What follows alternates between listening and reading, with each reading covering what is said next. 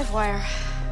I gotta be honest, I freaking love Leslie Willis's radio show before she went nuts. Never tell Kara that. Livewire's kind of her nemesis. Hey, freedom of the press, buddy. How long do you think they can hold her off for? Uh, give it about five seconds. Ten, at least. She's way too polite. Oh, you want to bet? If I'm right, you gotta try vegan ice cream. That's disgusting. If I win, my place tonight. Okay, I'm not. No, I'm being nice. I'm being. No, I need to get into this cell. I'm going. I'm. No, okay. I'm sorry. Well, Shay Danvers it is. I'm sorry. Kara Danvers, CatCo Magazine. I tried to stop her, but she's so strong. It's okay, she's with us. Sorry. Did this happen?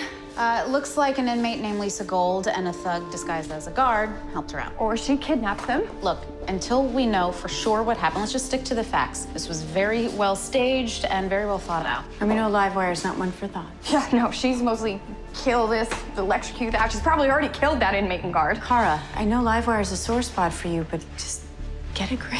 Get it? I, I don't know what you're talking about. We have to find her before she hurts someone. Livewire. So she's just out there, free. As a bird, Why did you let her go? Livewire could have killed me, but she didn't. There's still some good in her. And if she comes looking for trouble, she'll get it, but maybe she'll come looking for help. Excuse me. So she let Livewire go. Mm-hmm. And that means vegan ice cream at my place tonight. I never should have taken that bet. Gross.